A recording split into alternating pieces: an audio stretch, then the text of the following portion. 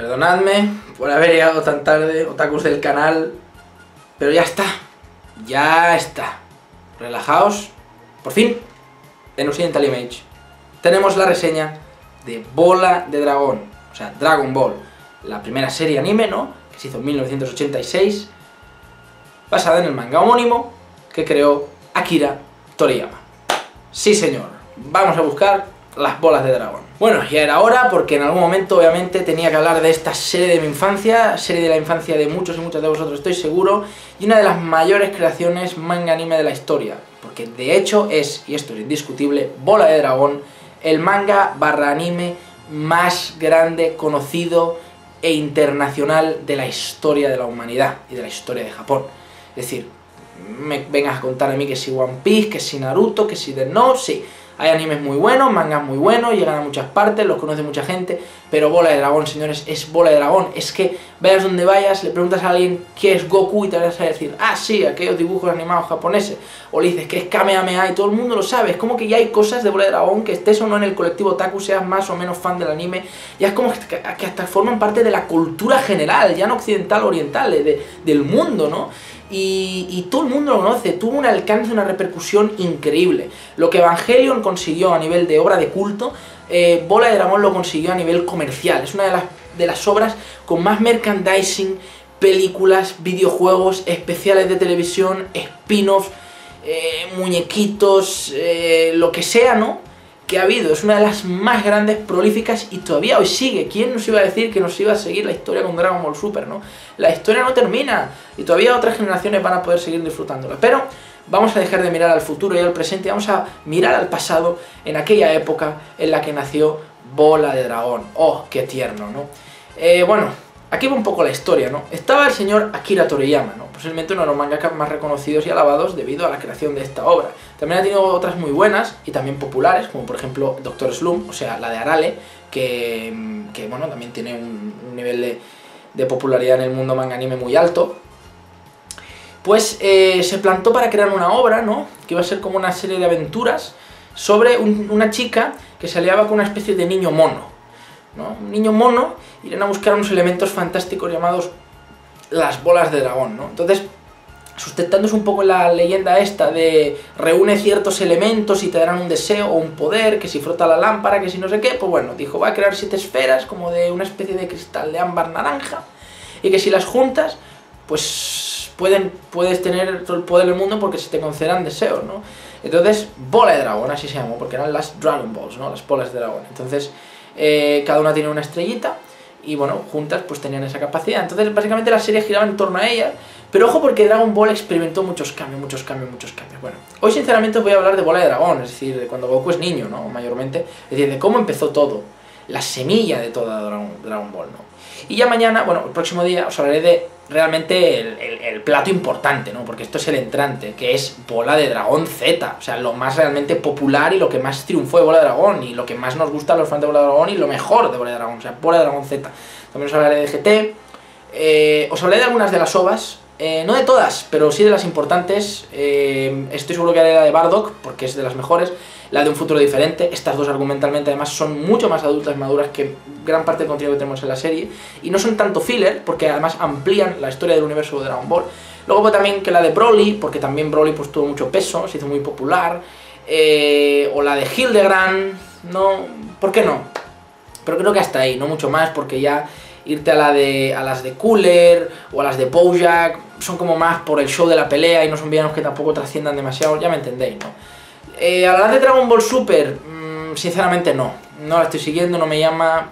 Parecerá tópico incluso como que en contra del espíritu artístico ¿no? que yo tengo, pero ya creo que estoy un poco mayor para Bola de Dragón, no sé, o sea, me gustan los shonen aún en día, o sea, años después, siendo más mayorcito ya con pelos en los huevos, hablando claro, he visto pues, Full Metal, ¿no? Full Metal Alchemist, y tal, y me han gustado, pero joder, no sé.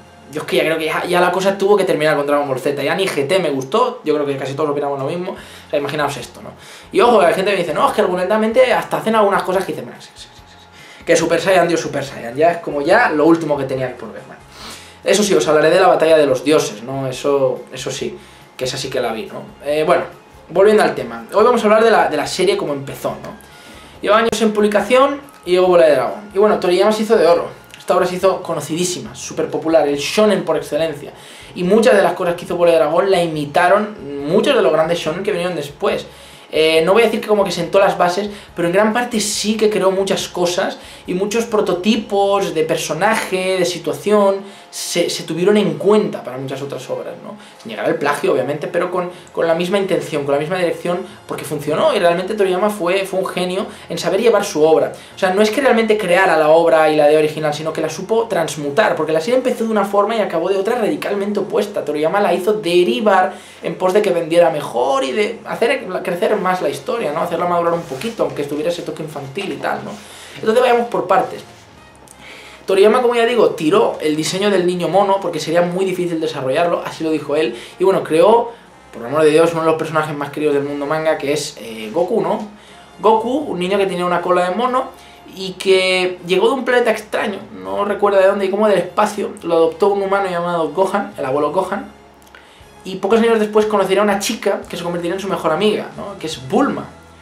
Y entonces junto con ella emprenderían viaje para ir a buscar la bola de dragón y entonces se irían incluyendo ahí, es ir al grupo, otros personajes como, como Yamcha, ¿no? como Krillin, eh, luego aparecerían pues Tenxian, Chaos, algunos se enfrentarían a ellos, luego se aliarían a ellos, ¿no? Más adelante, Piccolo, Vegeta son otros ejemplos, ¿no? Pero eso ya en Dragon Ball Z. Y bueno, ya veis que este prototipo dirá, joder, que, que repetido, ¿no? No, repetido no, lo parió Bola de Dragón prácticamente todo, ¿no? Y huelga decir que Dragon Ball, que tiene 150 y pico episodios, ¿no? si no recuerdo mal, eh, realmente no es tan deslumbrante. O sea, tú ves Bola de Dragón y dices, meh. O sea, es una obra que tiene un valor histórico importantísimo, un valor mangaka otaku importantísimo, pero que tú lo analizas ya con un ojo crítico un poco más desarrollado y dices, bueno, tampoco es para cagarse. También tengo que decir que igual puede que juegue un poco en contra el que el paso del tiempo haya hecho que se haya hecho tan popular la fórmula de de Dragón, que desgraciadamente la que tiene, aunque sea la original, te parezca repetida, ¿no? Pero no, yo digo que, realmente también a nivel general la, serie eh, no es tan despuntante, no es tan redonda. Eh, pero sí que se tiene que decir que es una gran serie, mucha honra, o sea, el puesto que tiene como el shonen más grande de la historia, o el manga anime más grande de la historia, lo tiene yo creo que muy merecido, ¿vale? Yo estoy de acuerdo, repito, que Naruto muy bien, que Bleach no sé cuánto, que One Piece aquello, pero en general, en términos generales, eh, creo que tiene merecida su fama. Ojo, también tiene mucha sobrevaloración, ¿vale? Pero en términos generales, es una genial obra, es decir, hay que ver más allá de las hostias y de las bromas infantiles, tiene muchos valores detrás de la serie. Y te hace sentir, te lleva por sitios increíbles, al espacio, los ataques de energía, las peleas cuerpo a cuerpo, el aspecto de los seres, ¿no? Porque no todos son humanos, y esa especie de tierra ficticia que crea, ¿no? Tiene un encanto, eh, lo, todo unos matices Toriyama hizo un universo, vamos, eh, vamos, eh, el universo mangaka equiparable al, al, de WoW de los videojuegos o al del Señor de los Anillos de Tolkien, ¿no? Así de claro, ¿no? Bueno, quizá no tan extenso ni tan tal, porque es una historia más o menos infantil, o teen, sobre todo si hemos Dragon Ball Z, pero vaya, mm, con un montón de virtudes. Eh, creo personajes carismáticos, creo elementos que crearon escuela, que se han convertido en todo un icono de generaciones enteras, la banda sonora es impresionantemente bella, la animación para su época está muy bien, en Dragon Ball Z mejoró muchísimo, luego se han hecho muchos remasters y reediciones, ¿no? Con mejores calidad y efectos. Pero vaya que sí, que en algunos momentos tenía gazapos de dibujito y tal, pero bueno, es el encanto propio de época yo también. Yo creo que había un trabajo detrás muy laborioso para hacer esas peleas, esas hostias, y bueno, cuando venían los ataques de energía y tal, todos flipábamos, ¿no? Luego también teníamos las obras y las películas, que eran como una especie de compacto, una cápsula mucho más intensa de, de acción y tal, porque en menos tiempo contaba más y se centraba más en la acción, en el show, en dar un poquito lo que la serie a veces tardaba más en darte. Y bueno, sí también tenemos que hacer que es una serie que tiene mucho filler, mucho relleno, episodios que sobran y las peleas duran una puta eternidad. bueno, eh, comparable a la broma de los putos chutes de Oliver y Benji nunca terminaban de cruzar el campo, el campo era más largo que su puta madre en hoverboard. Pues sí, aquí también pasa, ¿no? Que para pegarse dos hosteres están media hora discutiendo, dos puñetazos y media hora discutiendo y así nos va. Pero bueno, en general es una película, una, joder, es una serie que, que forma parte de mi infancia. Eh, Dragon Ball realmente no lo he visto muchas veces, puede que una o dos, Dragon Ball Z sí, Dragon Ball Z la he visto y mirad que es larga 2, 3, 4, 5 veces tal cual. O sea, es que la reponían en televisión y era en plan de otra vez, cada mañana, otra vez, otra vez, otra vez. GT también la he visto 2, 3 veces. Eh, no sé, es algo increíble. Y bueno, Toriyama desarrolló el personaje, creó esa tierra donde, bueno, hay como una moneda unitaria que es el Zeni, eh, que es equiparable a un yen, ¿no? Obviamente lo japonizó todo, lo naponizó todo. La lengua unitaria es el japonés, Eh, además los alienígenas también hablan japonés. Hay como una especie como de rey del mundo. Parece un poco tonto, pero es así. Y bueno, eh, por ahí van los llamados guerreros Z más adelante. Eh, no me voy a extender mucho con la de Dragon Ball, porque realmente es más rasita, ¿no? Es como el tema de los torneos, las artes marciales, los graciosos enemigos que aparecen, los valores que inculca. Tiene momentos preciosos la serie que también te emociona, te hace Y bueno, luego ya para el final de Dragon Ball, porque claro, a ver, Dragon Ball es Dragon Ball, ¿vale? O sea, empieza cuando Goku es niño y acaba con, con Goku adulto ya al final Dragon Ball Z después de Majin Buu, ¿no? Claro, ahí fue en el manga todo... Fue en el anime como que se dividió en varias series, ¿no? Entonces por eso también diferenciamos. Pues si realmente os fijáis, para el final de la temporada de Dragon Ball, ya Goku es adulto, y empezamos a ver ya matices de lo que sería Dragon Ball Z a nivel de violencia, de acción, de madurez, ¿no? La batalla con Piccolo es legendaria, ¿no? Con Piccolo Jr., quiero decir, y es uno de los mayores ejemplos de esto que digo. Y ahí podemos ver cómo Toriyama hizo avanzar la historia en ese sentido. Porque Toriyama al principio hizo al personaje de Goku inocente, bueno, puro, bondadoso, un niño realmente. Y cuando Goku crece realmente, aun siendo padre luego de, dos hijos, sigue siendo un poco niño, inocentón y tal. Aunque es un arduo guerrero, ¿no? Tiene sangre de guerrero dentro de sí. ¿Por qué? Lo sabríamos más adelante. La gran sorpresa que es el para Dragon Ball Z fue para mí brillante. Eh, y sí, repito que los mejores momentos, los grandes momentos siguen estando en Dragon Ball Z, con permiso de la batalla final de Piccolo Jr. con Goku en Dragon Ball. Bueno, creo ese personaje tontorrón y tal, y realmente a los lectores no les gustaba. Decían, joder, ¿por qué el personaje tiene que ser así? Tanta tontería, tanta broma, tanto chiste. Y Toriyama se mantuvo en sus 13 y dijo, no, no, no, esto tiene que ser así, Goku tiene que ser así. Y al final se ganó el cañón de todo, se ha convertido en una de las figuras más queridas del mundo manga anime y es uno de los mejores personajes de Dragon Ball, más allá de porque sea el protagonista, ¿no? Es entrañable, carismático, simpático, es el buenazo por excelencia, ¿no? Aquel buen tipo que, que tanto admiras y respetas, pero cuando se tiene que poner serio dramático lo, lo es, ¿no? Y al margen de eso, pues como que se mantuvo en algunas cosas, otras se las modificó. Toriyama también dijo que la, la historia iba a estar como llevada a, derroteros más infantiles, iba a ser más de la broma, más de tonterías, que tenía muchas cosas, ¿no? Pero luego la, la, enfocó más en la violencia y la acción porque es lo que realmente quería ver la gente, la hizo más rentable comercialmente y perdió el espíritu infantil infantiloide un poquito, eh, sin dejar de tener esos momentos, obviamente, sobre todo en el anime con muchos capítulos filler, y bueno, el resultado fue favorable porque Dragon Ball Z, que es la máxima exposición de esto de la acción y la violencia que digo, es la que mejor ha funcionado, es la más recordada de toda la historia de Bola de Dragón. O sea, las cosas claras y el chocolate espeso. Tiene elementos buenos, tiene elementos malos, que si el filler, que si la animación, eh, que si el argumento.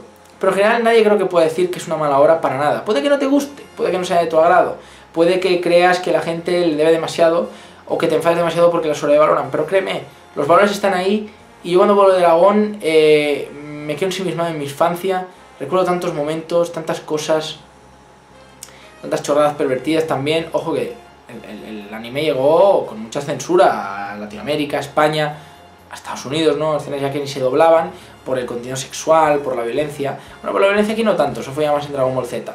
Pero aquí ya digo, la película, joder, la serie no deja de tener repuntes duros y momentos crueles, momentos que te hacen llorar, que te emocionan, que te erizan la piel. Y eso dice mucho de esta gran, gran, gran, gran serie. Ojo, el buen review va a ser el de Dragon Ball Z, pero de momento os digo que Bola de Dragón a secas para mí es una obra de notable que debería verse sí o sí. Es larga, pero joder, es que es como el referente más grande. Seguramente te puedas nutrir mucho más de ver Bola de Dragón que de ver cuatro o cinco eh, animes eh, panchurreros del montón actualmente. ¿no? Y, sinceramente es una obra que me, me encanta y me enamora. Y bueno, que hay que ver sí o sí. Pero realmente, reitero, el buen contenido lo tendréis en el review de Dragon Ball Z, que ese es el plato principal. Sin más, lo dejo por aquí y nos veremos pronto con el review de Bola de Dragon Z. Vamos allá. Gracias.